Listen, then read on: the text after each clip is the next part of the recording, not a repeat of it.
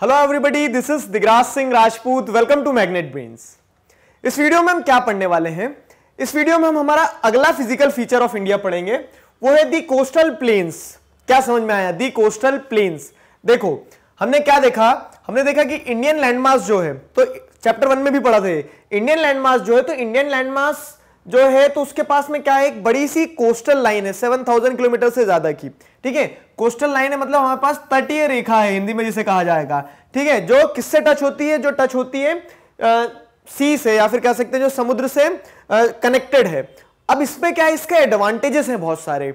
Advantages हैं अब इसका भी क्लासिफिकेशन होगा तो फिर जैसे हमने हिमालयाज में देखा हिमालयाज हैं, उनके क्लासिफिकेशन नदन प्लेन्स हैं, उनके क्लासिफिकेशन हर चीज़ में हमने डिवीज़न सब डिवीज़न क्लासिफिकेशन देखा तो फिर इसे कैसे छोड़ देंगे? अब आइए हम ये देखते हैं। तो इंडियन कोस्टल प्लेन्स जो है कोस्टल प्लेन्स होते क्या है? पहले ये समझो। सबसे पहली चीज़ तो देखो यहाँ पे क्या है? वेस्टर्न घाट है, ठीक? वेस्टर्न घाट है बीच में डेक्कन प्लेट्यू है, और डेक्कन प्लेट्यू के ईस्ट में क्या है? ईस्टर्न घाट है, ठीक है? अब देखो, ऐसा नहीं है कि वेस्टर्न घाट के बाद में सीधे एकदम से घाट है और घाट के बाद में यहाँ समुद्र आ गया बिल्कुल। तो यहाँ पे क्या है, घाट्स के खत्म होने के बाद में ये जो स्ट्रेच है एक, ठीक है, इसे, ये जो स्ट्रिप्स है, ये जो स्ट्रेच है, इन्हें क्या कहा गया है? इन्हें ही कोस्टल प्लेन्स कहा गया है, क्योंकि प्लेन एरिया है। अब प्लेन एरिया होने के साथ साथ में क्या है? प्लेन एरिया होने के साथ साथ में यहाँ पे कह सकते हैं आपकी समुद्र से लगे हुए तो एक कोस्ट जो क्लाइमेट होगा यहाँ का, वो क्लाइमेट भी इंफ्लुएंस होगा सी से सी विंड्स ठीक है? तो सी वेव्स वगैरह जो रहेंगी, वो यहाँ के क्लाइमेट को इन्फ्लुएंस करेगी, ये सारी चीज़ें। तो ये कह सकते हैं हम कि इंडियन मेन मेनलैंड जो है पूरा मेनलैंड के बाद में जो हमारी बॉर्डर्स हैं तो वो बॉर्डर हमारे कोस्टल प्लेन बनते हैं। अब बॉर्डर कोस्टल प्लेन बनते हैं कोस्टल प्लेन में क्या क्या है? तो एक वेस्टर्न मार्जिन पे जो रहेगा वो वेस्ट कोस्ट हो गया हमारा और ईस्टर्न मार्जिन पे जो रहेगा वो ईस्ट कोस्ट हो गया हमारा। एज सिंपल एज दैट ठीक है? तो अब इससे हम समझते हैं, इसके डिविजन समझते हैं, ये सारी चीज़ें पढ़ेंगे अब हम। Stretch of narrow coastal strips at the margin of peninsular plateau तो ये जो पेनिनसुलर प्लेट्यू है, उसके मार्जिन पे, ठीक है, ये प्लेट्यू है प्लेट्यू के बाद में माउंटेन भी आएँगे माउंटेन नहीं लिखा इन लोगों ने, ठीक है? माउंटेन आएँगे और माउंटेन के बाद में जो स्ट्रिप्स है वो कोस्टल प्लेन कहलाएगी। उसके बाद में these strips run along the Arabian Sea on the west and Bay of Bengal on the east तो अब देखो क्या है कि वेस्ट पे जो कोस्टल प्लेन है हमारा तो वेस्ट का कोस्टल प्लेन किसके साथ साथ दौड़ रहा है? किसके साथ साथ दौड़ रहा है? मतलब किससे कनेक्टेड है? तो ये अरेबियन सी से कनेक्टेड है। और ईस्ट पे जो कोस्टल प्लेन है हमारा, ठीक है? ईस्ट पे जो कोस्टल प्लेन है तो ईस्ट का कोस्टल प्लेन किसके साथ है? बे ऑफ़ बंगाल ये बे ऑफ़ बंगाल के साथ कनेक्टेड है। आगे समझ में? तो वेस्ट और ईस्ट और बे ऑफ़ बंगाल के साथ में और अरेबियन सी के साथ में कनेक्टेड है। क्लियर अब अगली चीज़ क्या है? अब अगली चीज़ ये है कि हम इन्हें समझते हैं कि इसमें क्लासिफिकेशन क्या क्या है। इंपॉर्टेंट चीज़ डिफ्रेंशिएट करने को आ जाएँगे क्वेश्चन उसी फॉर्मेट में मैंने आपको दे दिए हैं. उसके बाद में क्या है? उसके बाद में स्पेसिफिकली पूछ सकते हैं कि वेस्टर्न कोस्ट को कैसे डिवाइड किया उसके बारे में बताओ.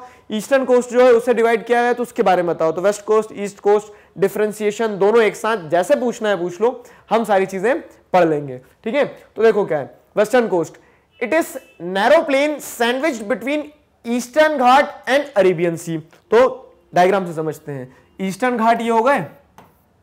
नहीं. कुछ गड़बड़ हो गई है। जरा देखते हैं एक सेकंड क्या लिखा था कंटेंट हमने?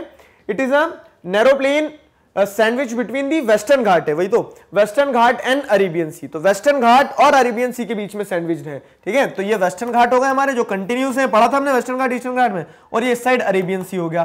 तो इन दोनों के बीच में सैंडविच की तरह कौन है? इन दोनों के बीच में सैंडविच की तरह है वेस्टर्न कोस्टल प्लेन्स ठीक है? तो वेस्टर्न कोस्टल प्लेन ये हो गए, ठीक? अब उसी का दूसरा पॉइंट अगर देखें ईस्टर्न कोस्टल प्लेन जो है तो वो किसके बीच में आएगा? ईस्टर्न घाट्स ठीक है? ये ईस्टर्न घाट्स होगा जो डिसकंटिन्यूस थे, जैसे हमने देखा। और इस साइड बे ऑफ़ बंगाल है तो बे ऑफ़ बंगाल ठीक? ये बीच में सैंडविच है यहाँ पे, ठीक है? अगली चीज़ क्या है? अगली चीज़ ये यदि coastal area is wide and हाँ ये वाइड और नैरो वाली चीज़, ये भी तो इंपॉर्टेंट है, ये भी समझना ये शब्द में भी अपने आप में एक पूरा आंसर छुपा हुआ है। क्या? कि इट इज़ नैरो प्लेन और यहाँ पे क्या लिखा है? The coastal area are wide ठीक है? ईस्टर्न कोस्टल एरिया को वाइड बोला जा रहा है, इन्हें नैरो बोला जा रहा है। ये क्यों है? ये समझिएगा। देखो, हमने आपको बताया था क्या कि ईस्टर्न घाट जो है और वेस्टर्न घाट जो है तो वेस्टर्न घाट क्या है? वेस्टर्न मार्जिन के बहुत इस तरफ़ है, पास में है मतलब मार्जिन पे ही एकदम। तो इस कारण से यहाँ पे जो प्लेन है वो क्या है? बहुत नैरो है। और यहाँ पे जो घाट है, हमारे ईस्टर्न घाट है तो ईस्टर्न घाट क्या है? कोस्ट से थोड़ा अंदर की तरफ़ है। कोस्ट से अंदर की तरफ़ है डिसकंटिन्यूज है बीच बीच में गैप है रिवर्स डेल्टा बनाती है। तो इस सेंस में यहाँ पे प्लेन एरिया ज़्यादा है as compare to the western coastal plain western coastal plain पे एरिया कम है ईस्टर्न कोस्टल प्लेन पे एरिया ज़्यादा है। आया समझ में? ये कारण है उसका।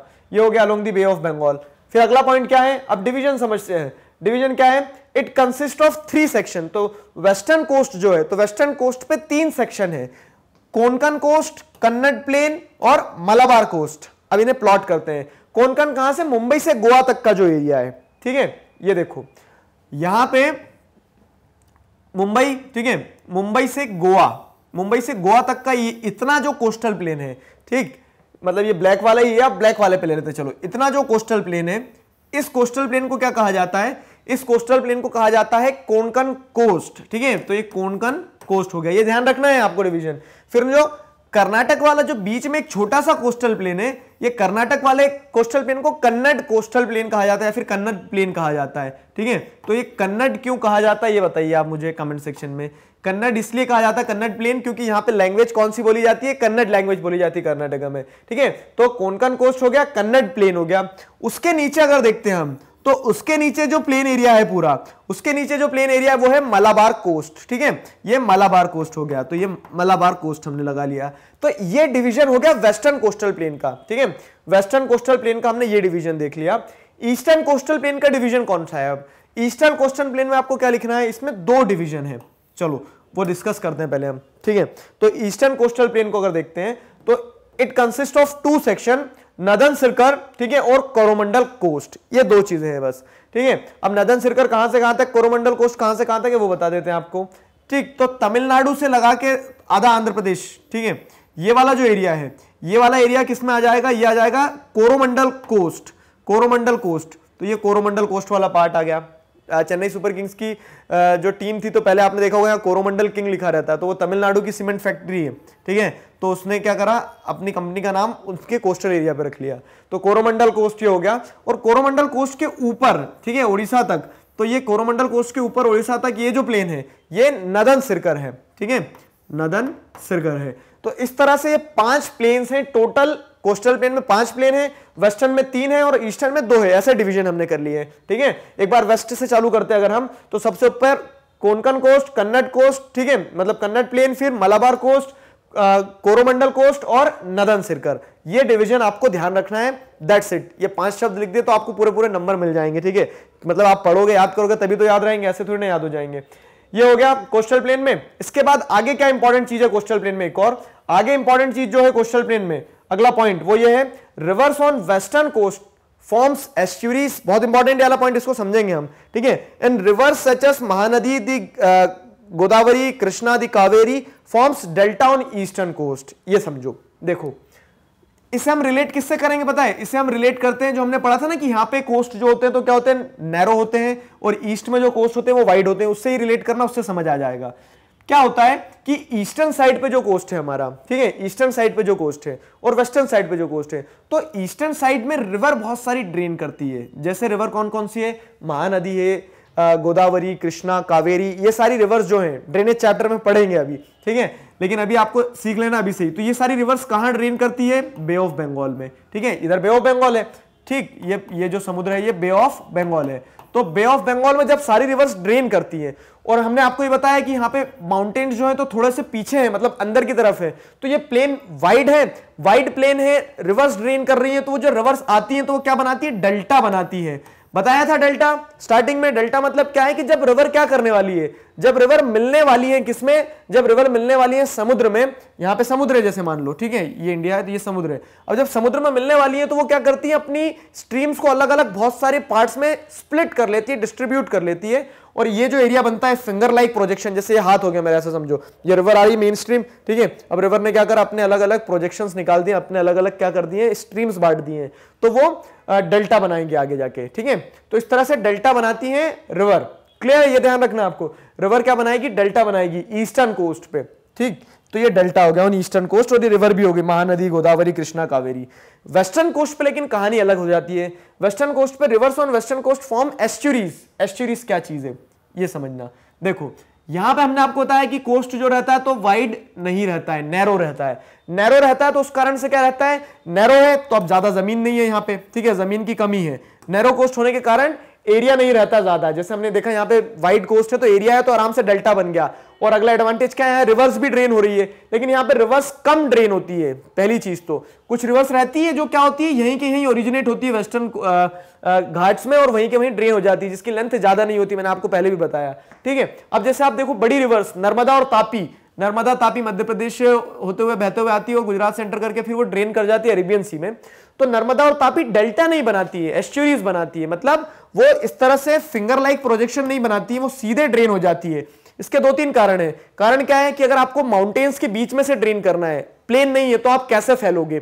आया समझ में? तो उस कारण से नदी क्या करती है? सीधी एक ही, जैसे ये है तो एक ही स्ट्रीम में जाके वो समुद्र में मिल जाती है सीधे। तो ये एस्ट्यूरीज होते हैं, ठीक है? जब डेल्टाज नहीं बनते तो एस्ट्यूरीज बनते हैं एज सिंपल एज दैट ज़्यादा उसमें कंफ्यूज होने वाली बात नहीं है। तो एस्ट्यूरीज बनाती है कौन सी रिवर्स मतलब कौन से कोस्ट पे? तो वेस्टर्न कोस्ट जो है हमारा वेस्टर्न कोस्ट पे एस्ट्यूरीज बनती है। क्लियर है? इसी के साथ हमारा कोस्टल प्लेन्स वाला जो फ़िज़िकल फीचर है कोस्टल प्लेन वाला फ़िज़िकल फीचर भी कंप्लीट होता है। अब लास्ट फ़िज़िकल फीचर जो बताया, वो कौन सा है? वो है आइलैंड ग्रुप वाला, ठीक है? जिसे हम नेक्स्ट वीडियो लेक्चर में क्या करने वाले हैं? डिस्कस करने वाले हैं। इस चैप्टर के नोट्स आप हमारी ऑफिशियल वेबसाइट मैग्नेटब्रेन्स पर जाकर बहुत आसानी से डाउनलोड कर सकते हैं। मैग्नेटब्रेन्स पर क्लास फोर्थ से क्लास ट्वेल्थ तक। सभी सब्जेक्ट्स सभी चैप्टर्स और सभी चैप्टर्स के सब टॉपिक्स एक अरेंज फॉर्मेट में अवेलेबल हैं, जिन्हें आप बहुत आसानी से पढ़ सकते हैं, समझ सकते हैं डाउनलोड कर सकते हैं। Feel free to visit our official website Magnet मिलते हैं नेक्स्ट वीडियो में। Thank you thank you very much